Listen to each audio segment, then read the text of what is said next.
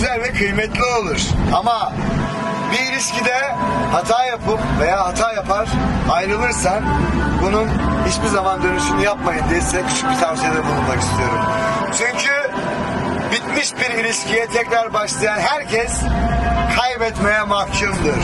O yüzden bir ilişki bittiyse Allah gidenin çarşısına pazar versin. Sen de önüne bak abi. Yapacak başka bir şey. Hayat teferruat.